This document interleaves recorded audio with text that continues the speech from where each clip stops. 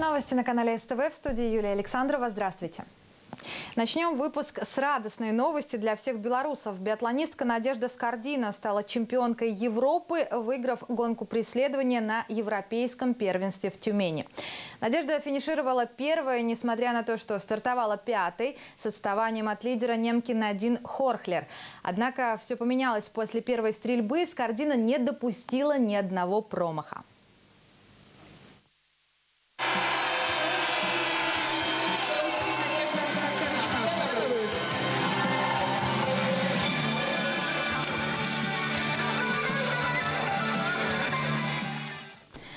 Победой Надежду Скордина поздравил президент Александр Лукашенко. Эту победу с нетерпением ждали многочисленные болельщики команды Беларуси по биатлону. Надеюсь, что твой, твой успех придаст нашим спортсменам уверенности в своих силах перед стартами чемпионата мира. От всей души желаю тебе, твоим коллегам по команде, тренерскому штабу здоровья, удачи и новых побед, говорится в поздравлении. К 1 марта тарифы на жилищно-коммунальные услуги пересчитают в сторону уменьшения. Об этом заявил председатель Комитета государственного контроля Беларуси Леонид Анфимов. Создана специальная рабочая группа по поручению главы государства под руководством КГК с участием правительства и администрации президента. Специалисты сейчас рассматривают, пересчитывают тарифы в соответствии с реальными затратами. После их представят главе государства. Традиционные субботние прямые линии продолжают работать по стране. В Чечерске, где побывала сегодня наша съемочная группа, стараются работать на опережение. А поэтому за все утро в райисполком поступил всего один звонок. Вопрос касался оплаты за услуги ЖКХ. Этой теме за последний месяц работники райадминистрации и коммунальщики уделили сотни часов. услуг бани. Мы поработали на предупреждении вот этих вопросов. Ну, коммунальное предприятие в жировках, так называемых, на обратной стороне все подробно расписало. А вместе с ними провели серию собраний. Следующий этап работники коммунального предприятия пойдут, что называется такая акция «От двери к двери», пойдут и выслушают еще раз э, жителей города Ческа на эту тему. Долгожданное перемирие в Сирии началось. Соглашение о прекращении военных действий официально вступило в силу в полночь. Не стрелять договорились правительственные войска и 97 вооруженных отрядов оппозиции. Условия перемирия не распространяются на экстремистские группировки, в том числе на исламское государство. Наблюдательный совет по правам человека в Сирии сообщил, что режим прекращения огня в целом соблюдается. Практически одновременно с наступлением режима прекращения огня Совбез ООН единогласно принял резолюцию в его поддержку. Новый шпионский скандал в Германии. Немецкая разведка вела слежку за Кэтрин Эштон. Под пристальным вниманием спецслужб она оказалась после того, как была назначена главой европейской дипломатии. Также велась слежка за дипмиссиями западных партнеров, причем не только по собственной инициативе, но и по просьбе американских коллег из Агентства национальной безопасности.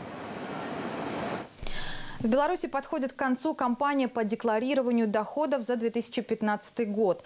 Свои персональные финансовые отчеты белорусы должны представить до 1 марта. В документе нужно указать размер доходов, которые облагаются налогом. При составлении декларации также учитываются льготы. Так, например, если есть дети, значительные расходы на обучение или строительство жилья, сумма подоходного уменьшится. Подать свою декларацию можно также через доверенное лицо, почтой или в электронном варианте. Налоговая декларация представляется гражданами, получившими доходы, облагаемые налоговыми органами. Это, например, доходы, полученные из-за границы. Это также доходы, полученные от продажи другим лицам э, какого-то имущества. Например, более одного легкового автомобиля в течение года. Либо, наоборот, продажа одного грузового автомобиля или одного автобуса в течение года. Это может быть продажа более одного жилого помещения в течение пяти лет. То есть более одной квартиры за пять лет, более одного жилого дома за пять лет. В этом году очень актуально появилась такая необходимость подать декларацию тем лицам, которые сдавали в наем жилье. И сумма дохода превысила за год 43 миллиона 660 тысяч рублей. Сейчас в Беларуси одна из самых низких ставок на подоходный налог в мире. Так, ежемесячные отчисления в бюджет государства в нашей стране составляют только 13% от заработной платы. Жители большинства европейских стран на налоги тратят практически половину своих доходов. Так, в Великобритании и Франции подоходный обойдется в 45%, Японии 50%, а в Швеции почти 57%. Юные Коперники и Ломоносовы. В эти дни в Беларуси проходит конкурс, в котором свои исследования и научные работы презентуют талантливые школьники и лицеисты со всей страны. Заявку на участие подало более тысячи ребят, однако выбрали 375 самых убедительных. Нынешняя битва умов проходит по 18 предметам, а в жюри представители вузов и Национальной академии наук. К слову, из года в год выбрать лучших из лучших все труднее, ведь уровень работ растет, да и доклады становятся глубже. Результаты исследований фактически во всех областях физики. Начиная от механики и кончая вот сегодня камера Вильсона, которая измеряет треки там, частиц космической с космоса, которые к нам прилетают. И вот и ребята всем этим интересуются, и у них есть возможность это сделать. Я думаю, что все-таки часть из них будет в науке. Это те люди, которые вот сейчас научились творчески мыслить. Они умеют задавать вопросы «почему?» и умеют искать ответы на этот вопрос. И это очень важно. Белорусские фристайлисты дважды поднялись на призовой пьедестал. Сегодня раубичи принимали чемпионат мира среди юниоров. Золото среди девушек завоевала Александра Романовская. Серебро среди юношей у Дмитрия Мазуркевича. Всего же в первенстве приняли участие три десятка спортсменов из семи стран. Беларусь, Германия, Казахстан, Китай, Россия, Украина, Швейцария. Республиканский центр олимпийской подготовки по зимним видам спорта Раубичи полностью готов к приему таких масштабных соревнований. Здесь уже проходили этапы юниорского Кубка Европы, а в прошлый уикенд состоялся еще и заключительный этап Кубка мира по фристайлу.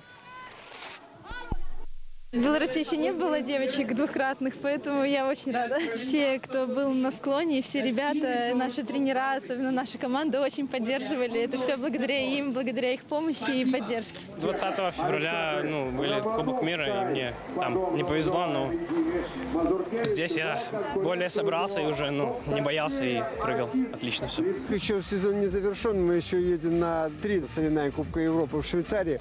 А вообще, ну, э, позитивно, достаточно хорошо хорошо. Хоть и такой усеченный куб чемпионат мира юниорский получился, но все сильнейшие были здесь.